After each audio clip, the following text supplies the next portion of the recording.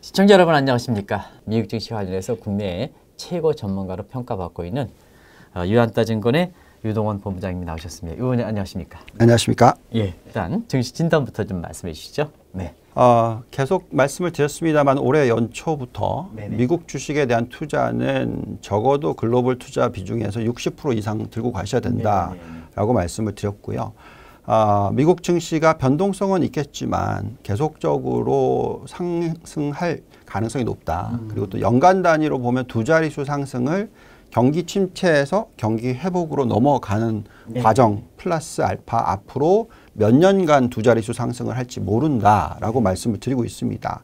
아, 물론 이제 여러 가지 업종 간의 어떤 차별은 있을 수 있습니다만 네네. 그래도 장기적으로 놓고 보면 어, 우리가 생각하는 음, 좋은 기업들에 투자를 한다면 어, 수익이 높을 거다라고 얘기를 해드리고 있는데요. 네. 지난 한 달간의 이 퍼포먼스를 한번 보고 말씀을 드리면 네. 별로 좋지는 않았어요. 네. 왜냐하면 인플레이션에 대한 리스크, 음. 걱정이 있었고 또 이에 따라서 뭐 테이퍼링 가능성, 금리 인상 가능성, 유동성 회수 가능성 뭐 이런 것들을 자꾸 얘기를 하면서 시장의 변동성을 야기하긴 했습니다만 어 그래도 다우존스 같은 경우에 네. 지난 한 달 동안에 0.5% 정도 상승을 했고요. 음. 어, S&P도 한 뭐 상승은 못했지만 네. 어, 0.6% 정도만 빠졌습니다. 지난 네. 한 달만 놓고 보면 그런데 나스닥이 어, 거의 한 4% 정도 빠졌고요. 네네. 그리고 또 중소형주가 한 2.4% 정도 빠졌습니다. 네네. 근데 어쨌든 이 정도의 변동성은 음, 충분히 감당 가능한 수준이다라고 말씀을 드리겠고요.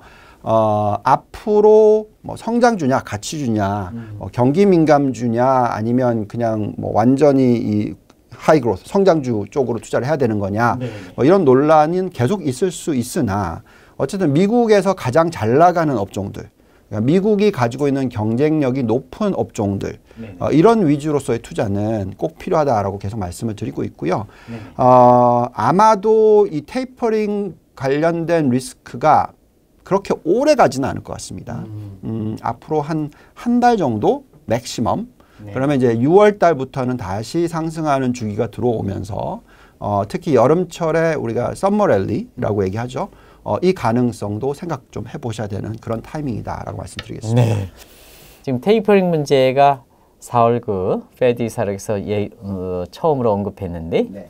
사실 우리 유 본부장님께서는 우리와 달리 아무리 길어도 한 달 정도의 단기 현상에 그치겠다 이렇게 어, 말씀하셨는데요. 네. 이렇게 보는 근거 네. 어, 이런 문제를 좀 가- 말씀해 주시기 바랍니다.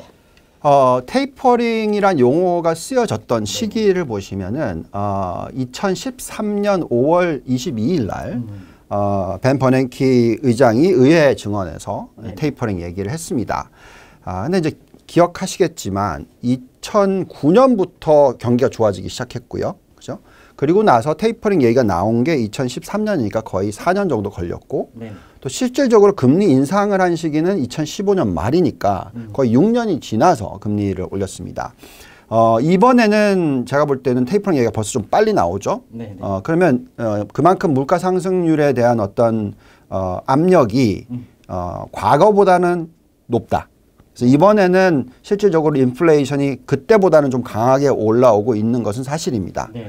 자, 그런데 그렇다고 해서 구조적으로 미국 경제가 변한 건 아니거든요. 그러니까 구조적인 변화라는 것은 어떤 인구 구조의 변화, 뭐 또는 시- 시- 새로운 노동자 수가 늘어난다라든지 어, 이런 데모그래픽이라고 하지 않습니까? 네. 그러니까 이런 부분을 놓고 보고 있으면 분명히 미국 경제가 그 디플레이션 압력이 일정 부분 상존합니다.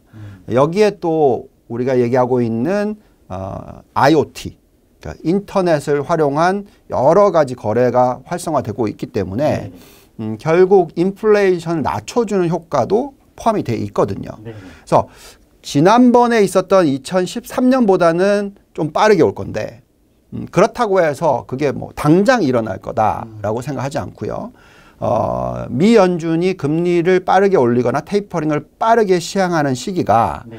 어, 옛날에는 3년, 6년 걸렸다면 네. 뭐 이번에는 뭐 아마도 한 뭐 1년 반, 뭐 3년 뭐요 정도로 좀 빨라지겠지. 네. 지금 당장 바로 일어날 거는 아니다라고 생각하고 있고요. 네.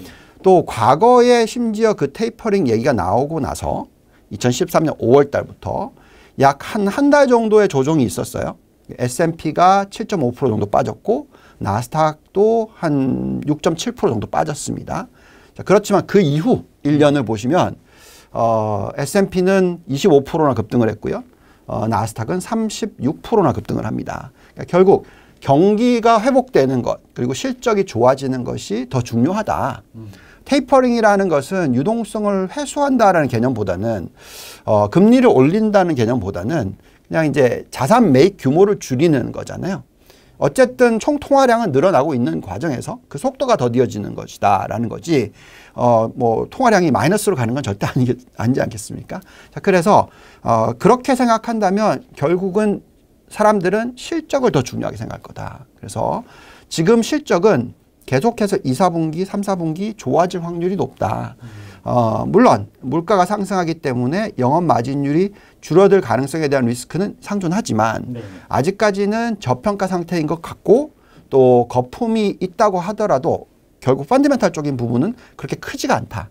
옛날처럼 어떤 거품 붕괴가 일어날 만한 그런 상황이 아니다라고 말씀을 드리겠습니다. 네. 2주에 유원 부장님이랑 다시 모시고 좀 더 상세하게 미국 증시와 관련해서 말씀드릴 것을 약속드리면서 이 방송을 마칠까 합니다. 고맙습니다.